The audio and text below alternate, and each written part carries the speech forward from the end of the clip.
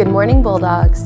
Today is Tuesday, September 10th. The quote of the day is You just can't beat the person who never gives up.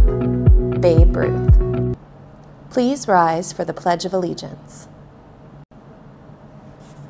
Begin.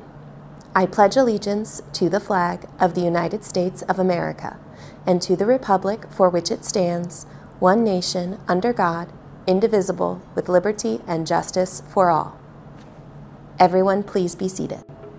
There are no birthdays at SMS today, but if we missed your birthday, don't forget to stop by the office to pick out a birthday pencil. Do you have school spirit? Do you want to plan special school-wide events for the student body? Are you a leader and are interested in running for Student Council President, Vice President, Historian, Treasurer, or Secretary?